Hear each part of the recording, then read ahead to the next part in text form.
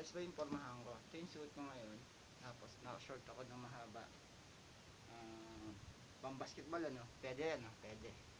Ah, ito yung pormahan nung nung kapatid kong nagtatrabaho sa ah, public market. Natutuwa ako sa kanya kasi ah, sa kapatid ko siya yung ano, siya yung hindi pakailamero. Pero siya yung maganda ang boses, ah, aming magkakapatid. Pag kumanta siya ng English, Tagalog, siya yung pinaka ano, pinaka pinagmamalaki ng pamilya sa pamilya ni Agapito Arseno. Siya yung pinakamaganda ang boses. Ah, ngunit sapagkat hindi naman niya ah, ini-improve yung sarili niya sa pagkanta. Siguro kung ah, na-train siya ng gusto, may itsura naman yung kapatid ko. Siguro ano, singer to. Yan. Yung pinakamagandang ngipin, ah, pinakamaputi, pinaka the best. Maganda yung postura, yung aura. Pero pag nagdamit siya, ano, pag madumi, madumi, pag pumorma, pumorma, maganda.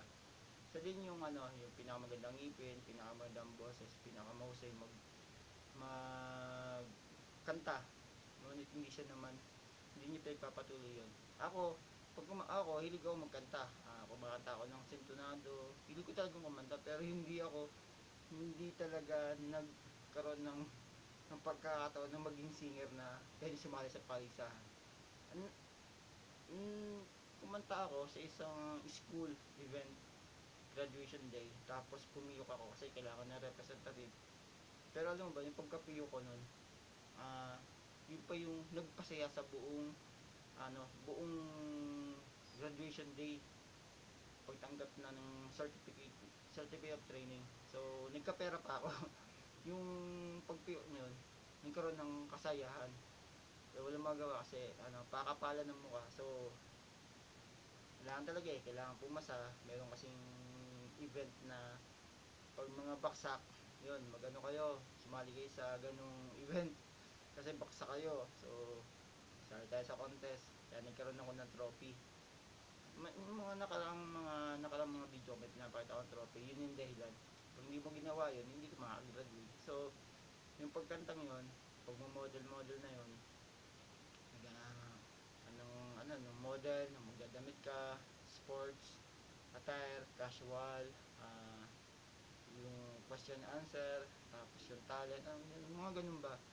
Kato paano okay lang pero ah, nakakaya pero meron palang yung may may may mayroong pa hindi po ang tawag doon yun, faction o meron palang sa pagkakaganon mo sa sarili mo nakakaya pero sa iba nakakatawa. Ano may ganun palang impact yung audience impact. Yun nga lagi hindi mo kailangan mag ano mag mm, bagang- kailangan tapusin mo yung iyong performance yun level kailangan pag pintawanan ka hindi mo tatapusin. So ang tawag yun nag back out ka. Medyo iba nang dating nun. So kinapalan ko na yung pagmumukha ko. Ah, nanalo ako ng pa- nanalo ako ng 1,000 tapos nagkaroon pa ako ng 500 plus yung bigay. Pero yung kapalit nun yung kahihiyan na nangyari sa buhay ko. Pero totoo yun. Hindi yun biro. So yun ah salamat na lang dahil isa din ako sa mga alumni ng paaralan na yun. Kasi nagkaroon ng ano ng ganun. So salamat din. So yun lang and gatong gatong pumarma yung kapatid ko. Kung ano yung suot ko kung ano yung suot yung short ganyan ganyan. Yan. Tapos magkaiba lang kami ng lakad. Kung mapapansin mo lagi ako nag, nakabag kasi ako ay sakang kung lumakad ayoko nang wala akong bag kasi pag makikita mo nakabag ako hindi siya mahalatang sakang ako. Pag wala akong bag makikita mo sakang yung paglakad ko. So yun lang and paalam po sa inyo. Kung hindi mo naman nagustuhan tong komentong to pwede ka mag-comment ng masama at pwede ka mag-comment ng mabuti. Pabor po yun sa may-ari ng channel and yun lang and paalam po sa inyo. Short stories lang naman. Bye